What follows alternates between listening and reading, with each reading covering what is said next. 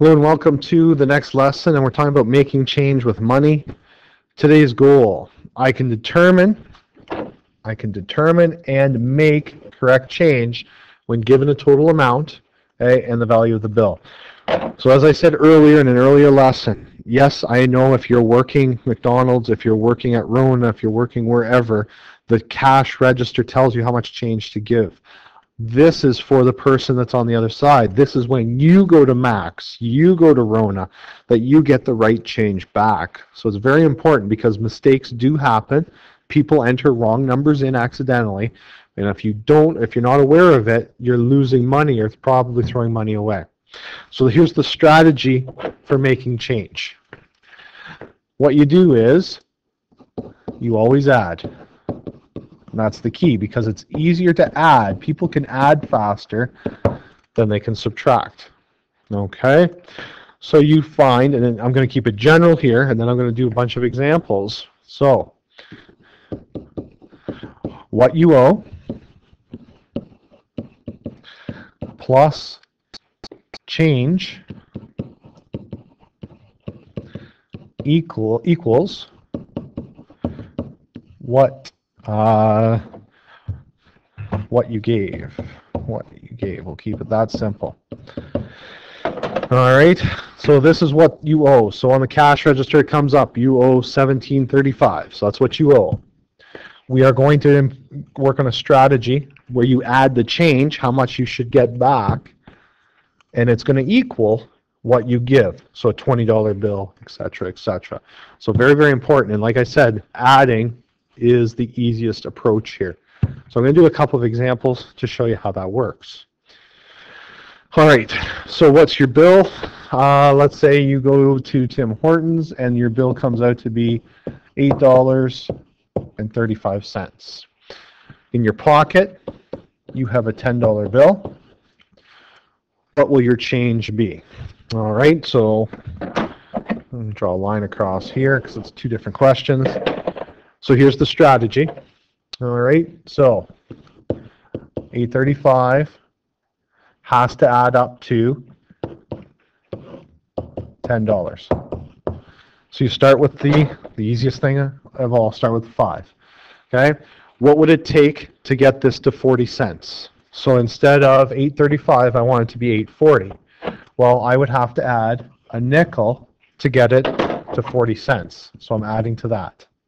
So now, if I added 5 cents to 835, I would now have 840. What do I have to add to 40 cents to get you to the nearest dollar? So how much do I have to add to 40 cents to get you to the nearest dollar? I would have to add 60 cents. So I'm going to have to add 65 cents to 835. All right. So if I take 65 cents and I add it to 35 cents, I now have $9. So how much do I have to add to $9 to get to $10? I just have to add $1.65. Okay, so 835 plus $1.65 is going to give you $10. So you should get $1.65 in change. Okay, I'm going to use another, I got four examples I think I'm going to go through with you. Um, this is the quickest and easiest strategy to employ. All right, and it works with your bigger numbers. So what's your bill? Uh, let's this time let's go with uh, 12, 20, actually let's go 1245. You look in your wallet and you realize you only have a $20 bill. All right.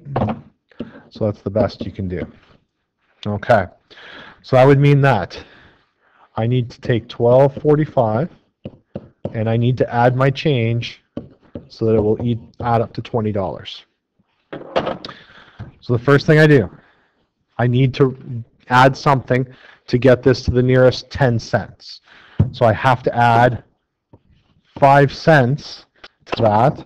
And if I add 5 cents to 45, I now have $12.50. All right. Next, I have to add change to that to get to the nearest dollar. So what do I have to add to 50 cents to get to the nearest dollar? I would have to add 50 cents. So what I now know is if I take 55 cents and I add it to 45 cents, I now have the new nearest dollar. So now I'm up to $13. What do I have to add to $13 to get me to 20? And hopefully everyone's saying $7. So if I take $7, whoops, $7.55, all right, and add it to 1245, I will get my $20.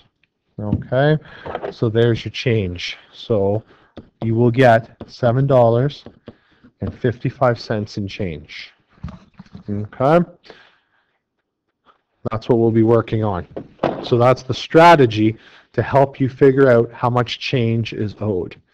And it's going to be a little bit easier because when we get to the workstation, you're going to um, you're going to actually have real money or well play money to work with. Okay, it's a little bit easier when you have money in your hand, so it's easier to think about. Let's try a couple more. So what happens? What happens if we put uh, a bill of 33 uh, 70 is what you're going to pay at Rona for some wooden nails. And Tony looks in his wallet. He only has a 50. all he carries is 50s. He doesn't like the little stuff. How much change is he going to get? Well, we know that 3370 is how much he has to pay. So he's going to have to pay some change, or he's going to get change back, and the two of them have to add up to 50. So this one's a little bit easier because it's already an even 10 cents. So 70 cents. How many cents are needed to add to this to get to the nearest dollar? Well, if you have 70 cents, you need 30 cents to get to the next dollar. So if I take 30 cents and add it to 33.70, so I give it 30 more 30 more cents, the new total will actually be $34. So my question now is what needs to be added to $34 to get to 50? Well, do it in stages if you don't see it right away. How much has to be added to that to get it to $40? Well, you'd have to add 6. So if I add $6, I would have 40. And to get to 50, I would need 10 more. So that would mean for this particular situation, you would get $16.30 back in change. All right, which Tony will throw in his coffee cup because he only carries 50s, or in the uh, coffee holder in his truck. Okay, let's try another one. Let's go back. What happens if your bill is 215 so $2.15 and all you have in your pocket you have a $5 bill so employing that strategy again, you must pay $2.15, and when you get your change back, it has to add to $5. So how do we get to $5? Start with your nickels. What needs to be added to get to the nearest 10 cents? Well, I have to add 5 cents to this. So if I add 5 cents, it now becomes $2.20. What needs to be added to 20 to make 100? Well, you're going to have to add 80 cents to that. So 80 cents. And now 85 cents plus 15 is going to give you $3. So now, if I have $3, what needs to be added to make five, well, you would need $2 more, so $2.85. Okay, so 285 would be your change. All right, you'll get quicker with this, and like I said, when we get the play money out to work with, it'll become quicker and quicker uh, as you work through it. All right. Last set of examples here. Uh, then I'm going to let you try a couple uh, in your own and work your way through. So again, let's do. Uh, let's go with a bigger one. So let's go Tony again. Uh, 68, uh, 68.90. All right. Uh, looks in his wallet. Today he's only got the brown bills. He's only got $100 bills. So how much change will he get? So again, his 68.90, what he owes, plus his change has to equal 100. So he has 90 cents right now. How much is required to move him up to the next cent, or the next dollar, I should say?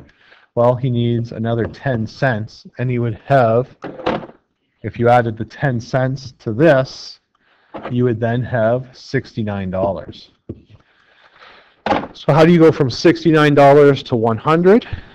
Well, I know if I add another dollar to this, I would have 70, so I'm going to add a dollar.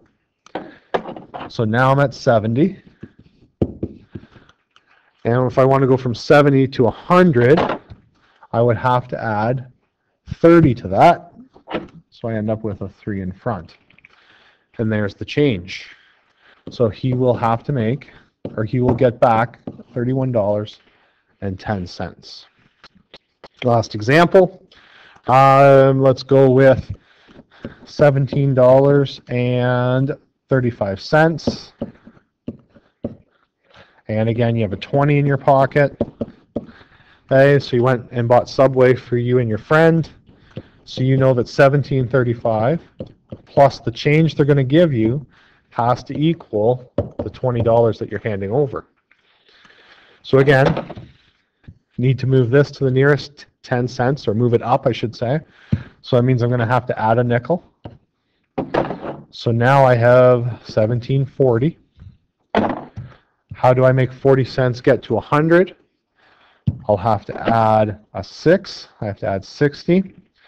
So now I'm at $18. And how do I get my $18 to 20?